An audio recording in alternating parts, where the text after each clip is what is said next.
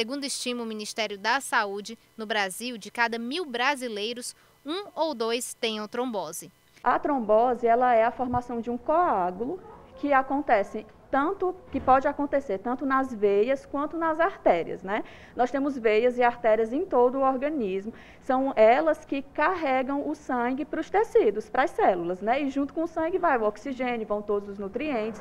É, em alguns pacientes existe a formação, essa, essa desregulação do nosso sistema de coagulação é, favorece a formação desse coágulo, esse coágulo acaba entupindo, obstruindo né, algum desses vasos. Mas a chegada da Covid-19 veio engordar essa estatística.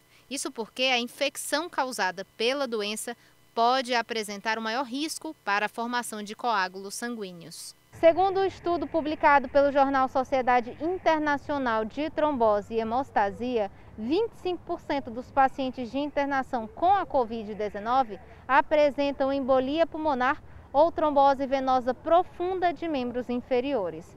Ainda não se sabe o que pode causar esse maior risco, mas já se tem algumas teorias sobre essa situação. Uma dessas teorias é o quadro de inflamação em todo o organismo que a Covid gera, certo?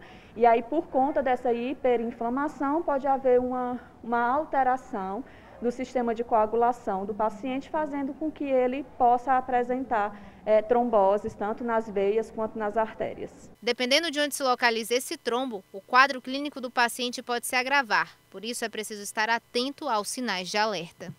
Pronto. As tromboses mais comuns, elas acontecem nas veias, geralmente nas veias das pernas ou, no caso da COVID, um muito comum também é nos vasos do pulmão. Quando acontece nas pernas, nos membros inferiores, geralmente o paciente vai apresentar dor, que costuma ser mais de um lado do que do outro, que a trombose costuma ser né, apenas de um lado é, além da dor, ele pode ter inchaço da perna e pode ter, dependendo se for uma trombose venosa, trombose arterial, alteração da cor e da temperatura do membro. No caso da embolia pulmonar, o sintoma mais comum é a falta de ar, certo? Que geralmente é uma falta de ar que acontece de uma forma mais, mais súbita, né? Mas pode ter outros sintomas também, como dor torácica, né? Dor no tórax, geralmente mais de um lado do que do outro, quando respira fundo.